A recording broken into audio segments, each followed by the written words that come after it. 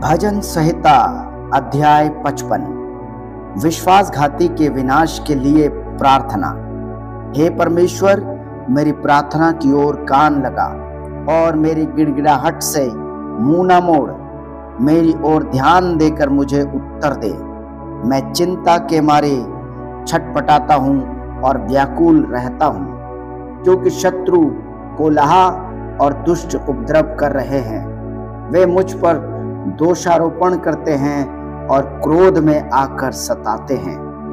मेरा मन भीतर ही भीतर संकट में है और मृत्यु का भय मुझमें समा गया है।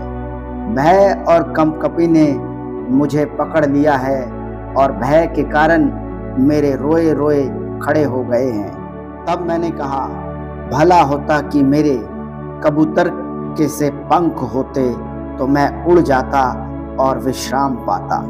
देखो, फिर तो मैं उड़ते उड़ते दूर निकल जाता और जंगल में बसेरा लेता।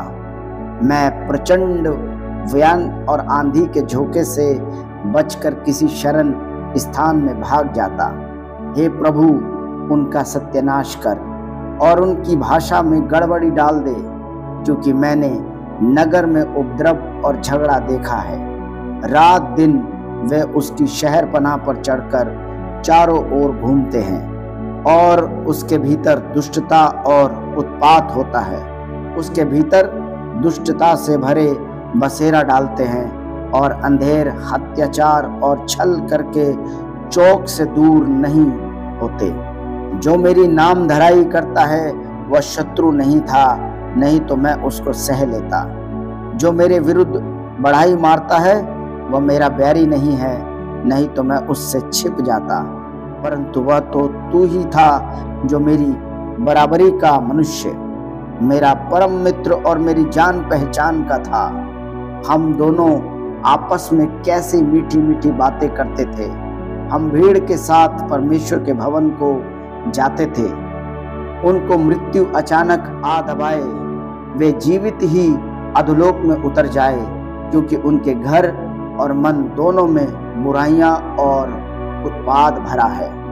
परंतु मैं तो परमेश्वर को पुकारूँगा और यहोवा मुझे बचा लेगा। साँझ को, भोर को, दोपहर को तीनों पहर मैं दुहाई दूँगा और कराता रहूँगा और वह मेरा शब्द सुन लेगा।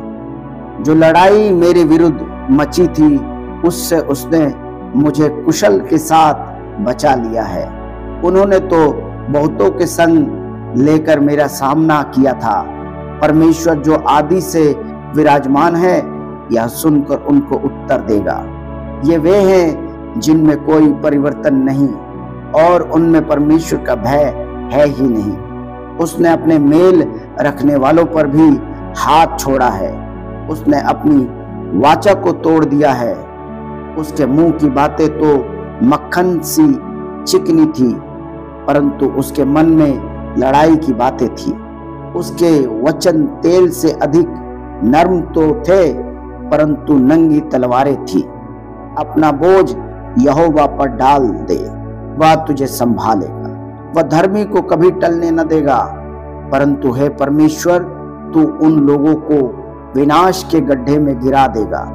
हत्यारे और छली मनुष्य अपनी आधी आयु तक भी जीवित ना रहेंगे। परंतु मैं तुझ पर भरोसा रखे रहूँगा। आमीन।